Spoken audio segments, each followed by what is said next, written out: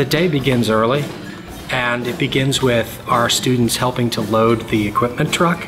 It's really quite a sight to see because we have a lot of equipment for our percussion ensemble and for our bands, and all of that equipment uh, gets taken over to George Mason uh, early in the day. I'm in the percussion group, so I'll be performing obviously with these guys back here. We're really excited, ready to go because we've been practicing for months now. So, I mean, it feels good to finally get it to pay off and perform in front of a live audience. Oh my god. Okay, you know what to do, just head straight down the road.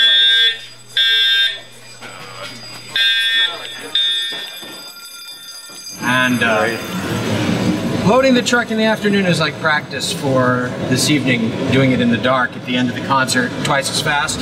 So you sort of decide where things are going to go now, take that extra time at the end of the evening. Um, it goes as well as it can. Fire drill took us by surprise and that's fine. Uh, we're only about 20 minutes behind at this point, so I think it's going to be good.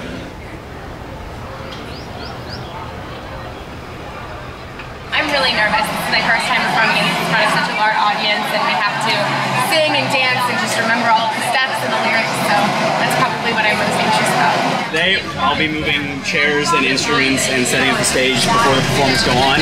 Uh, just make sure they have all the equipment they need, like amps, music stands, make sure the instruments are in the right place. My worst nightmare about this performance would be that we take a really long time when we're not supposed to, or we make a lot of noise, or that somehow the stage lights come on while we're up there and show what we're doing. My worst nightmare is not hitting my final note, and that is quite likely, and I really hope it doesn't happen. The stakes are pretty high, I think, because the audience is huge. It's the biggest audience that we have at Flint Hill. We have people from outside the community coming in and watching our performers, and we have a lot of lower school families and middle school families watching. Hey guys, you have 10 minutes to change and be on stage. Actually, just make sure that you walk down along the side. The students will come in off the bus from Flint Hill and they'll bring all of their things to their particular holding area. But after that, we start working right away. Five minutes. Change as fast as possible. Here doesn't matter right now. Just want to get out. Door. Statues in time goes first, so.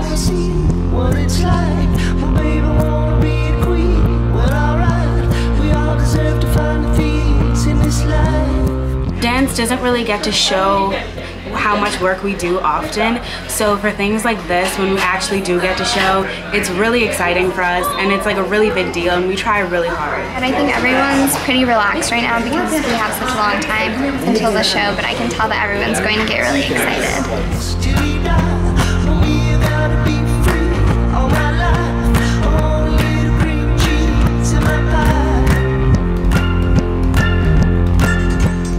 The musicians will begin to get their instruments ready and warmed up, and the students, sometimes for the first time, hear what they sound like in a concert hall. And that's a very important moment. So they're learning pretty much every minute we're there about what it takes to put on a production in the concert hall, but also about how they're going to conduct themselves as musicians, dancers, crew members, and the like. Just Dulcie and Faye? Are you sure there wasn't anyone else with you? What if there was? I can go bathing with whoever I choose. Okay, I know you love that part, but you can totally cut all of that.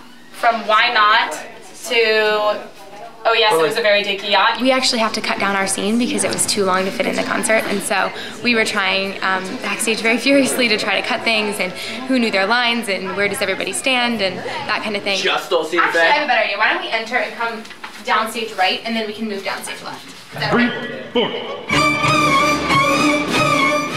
I'm feeling a little nervous. This is a big concert, the biggest one of the year, so we want to really impress the crowd that's coming in tonight. So we really want to put on a good show. That's a little bit of pressure on me. Uh, I'm the concert master, so I am kind of responsible for kind of keeping the orchestra together. I'm the only cello, so my greatest fear is messing up on Neighbor's Chorus because if I mess up, then the orchestra and the choir mess up. This is a huge event. I mean, everybody's doing something with somebody, which is it's good. This is more this is more along the lines of what a musical experience or an arts experience really is.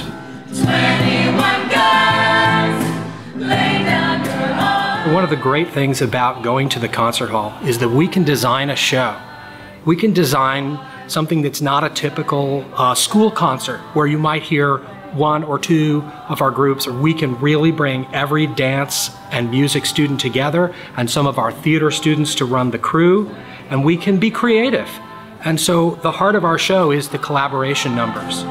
It's going to be great. They're, they're gonna they're gonna have a good time, and it's going to be a very positive experience because at the end of the day, there are not many schools in this country that get to go to their local college and play on a professional level stage.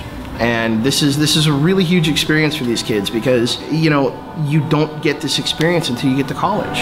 Count to five and release. That was We have a wonderful theater here at Flint Hill, but going to the concert hall allows us to bring together the music and dance groups in a way that we could never do. And the whole effect for the audience is outstanding. We want them to have a great theatrical experience of going to the concert hall, coming into the grand lobby, and just having a terrific experience.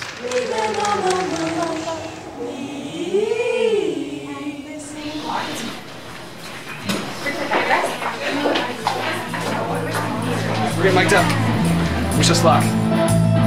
The student standing in the wings, getting ready to go on stage, is thinking about every single aspect of the performance and, and really focusing in a way they haven't before. And it's like, you know, having a nervous energy, but you know that you're going to be able to use that energy. You know you're going to step out there and you're just going to do it. And you can feel the lights on you and you can feel the audience listening to you, feel them, and that's when you really begin to enjoy it. You're so fascinating, but it's aggravating that you keep us waiting to hear which one will be your favorite. You're so very taking that our hearts are breaking, so you should be making it clear which one of us. I get way more nervous when my students are performing than when I'm performing because I have no control. At that point, they're out there and I can't do anything to help them.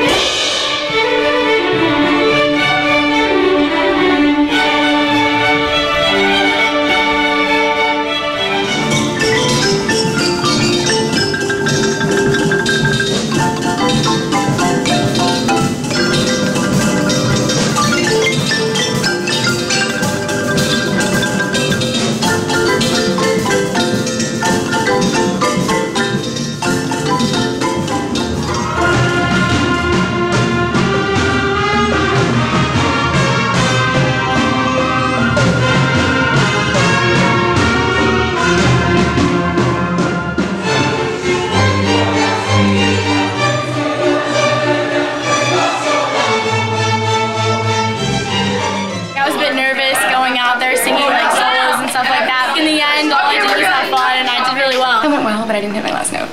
But that's okay, because it went well. Yeah, it was really fun. There was a lot of people there. I didn't expect there to be that many people there. It went awesome. All of our hard work has finally paid off. It was awesome. I think like that's like the best like job we've ever done for that. It worked. Everything worked. It was so perfect.